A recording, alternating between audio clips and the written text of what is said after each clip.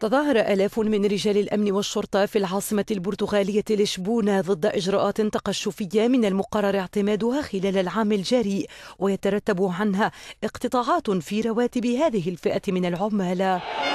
المتظاهرون اشتبكوا مع قوات الأمن بعد أن حاولوا اقتحام البرلمان ما أدى إلى إصابة متظاهر وعنصر أمن.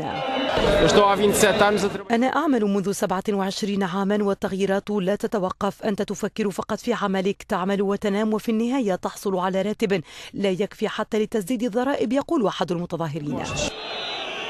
رجال الأمن في البرتغال يتظاهرون للمرة الثانية بعد أن طالبوا بتحسين ظروف عملهم لا سيما وأن الإجراءات التقشفية المتبعة في البلاد مست بدرجة كبيرة عمال القطاع العام.